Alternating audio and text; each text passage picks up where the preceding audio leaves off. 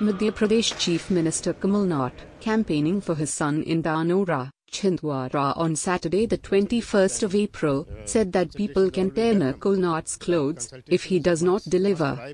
This is the first time that Nakul is fighting for the Chhindwara seat of Madhya Pradesh, which goes into polling in the fourth phase of 17th Lok Sabha elections on the 29th of April.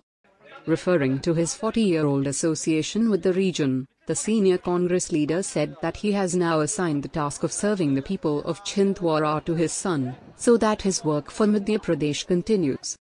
Talking about the absence of the new Congress candidate for the region, the 72-year-old Congress leader said, Nakul is not here today but he will serve you. I have given him the responsibility. Take him to task and tear his clothes if he does not deliver. Kamal Nath was addressing an election rally in Dhanora village which comes under the Amarwara assembly seat, about 65 kilometers from Chhindwara district headquarters.